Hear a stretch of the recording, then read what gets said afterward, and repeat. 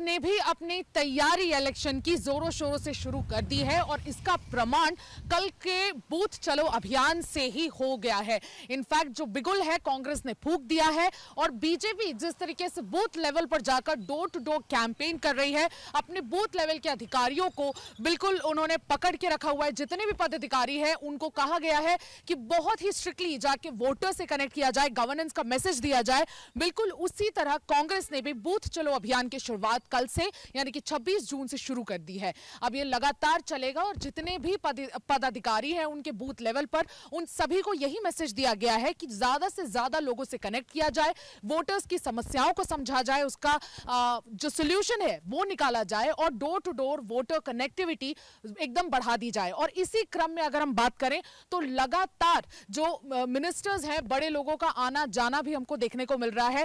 Crucial meeting होगी AICC पर all India Congress committee के हेडक्वार्टर्स अकबर रोड पर यह मीटिंग चलेगी। और इस मीटिंग में राहुल गांधी, जो विदेश से अभी रिसेंटली वापस आए हैं, वो शामिल हो सकते हैं। और इस मीटिंग में इलेक्शन के मद्देनजर क्या ऐसी जिम्मेदारियाँ हैं जो देनी है? इस बार इलेक्शन मैनिफेस्टो में क्या ऐसी चीज़ें होंगी जो वोटर्स को अट्रैक्ट करने में काम आएगी? और क्या स्ट्रैटेजीज इसमें डिसाइड की जाएगी? बिल्कुल इलेक्शन को लेकर क्या अट्रैक्टिव स्ट्रैटेजीज होंगी?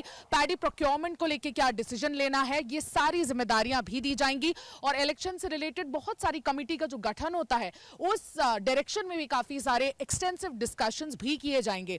सीएम चेहरा कौन होगा? माना जा रहा है कि चीफ मिनिस्टर भूपेश बघेल, वही सीएम चेहरा होंगे कांग्रेस का, लेकिन इस पे अभी एआईसीसी की मोहर लगनी बाकी है। तो इन सारी चीज़ों पर डिस्कशन होगा और इसके अलावा अगर हम बात करें तो बूथ लेवल चलो बूथ अभियान, जो ये इनका अभियान है, जो बूथ लेवल पर शुरू हो चुका है, इसकी तैयारी जो जोरों शोरों से शुरू हुई है, वो बस्तर संभाग से शुरू हुई है। बस्तर संभाग कांग्रेस के लिए बहुत इंपॉर्टेंट होने वाला है, क्योंकि पिछली बार दो हज़ार अठारह के जब विधानसभा इलेक्शन हुए थे, बारह की बारह सीट कांग्रेस के पास गई थी और ये परफॉर्मेंस कांग्रेस का अब तक का बेस्ट परफॉर्मेंस था।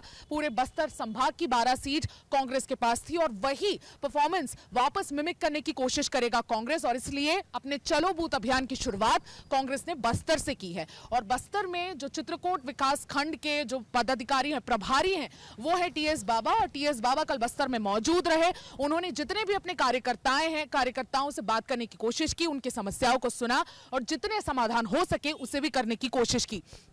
कल भूपेश बघेल, मुख्यमंत्री, उनका भी बस्तर जाना तय था। लेकिन जैसा कि आप देख सकते हैं, खराब मौसम के तहत वो नहीं जा पाए, लेकिन अपने सारे कार्यकर्ताओं से वो वीडियो कॉन्फ्रेंसिंग के ज़रिए उन्होंने बात की और उन्होंने ये मैसेज स्पष्ट रूप से दे दिया कि जितने भी कार्यकर्ता हैं, दस हज़ार पदाधिकारी हैं और बूथ लेवल पे बस्तर संभाग में ही जो दस हज़ार पदाधिकारी हैं, उनको इंस्ट्रक्शन दिए गए हैं कि वो जल्द से जल्द अपने बूथ लेवल अभियान को भी सशक्त करें और इसके थ्रू इंश्योर करें कि कांग्रेस की वापसी इस बार भी जोरों शोरों से बस्तर के 12 विधानसभा सीटों पर होगी।